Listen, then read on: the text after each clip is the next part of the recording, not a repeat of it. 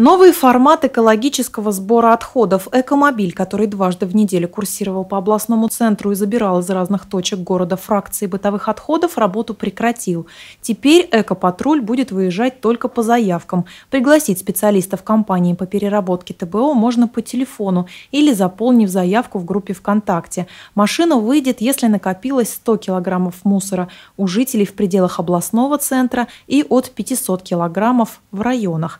Напомним, Тема раздельного сбора мусора сейчас особенно популярна среди образовательных учреждений. К процессу эко-помощи приобщаются школы и детские сады. Для них волонтеры зеленых движений придумали мотивацию и поощрение. Если школы и сады хотят помочь э, приюту ЗОО-37, вы можете сдавать в экомобиль вторсырье, получать электронные э, дипломы за участие в этой акции. Вот. Ну, в целом, э, меня многие сейчас спрашивают, потому что, ну, как бы экомобиль закрылся, и небольшой ажиотаж все-таки есть. Куда, что и где. Волонтеры отмечают, что раздельный сбор мусора – это необходимая мера для сохранения жизни на нашей планете.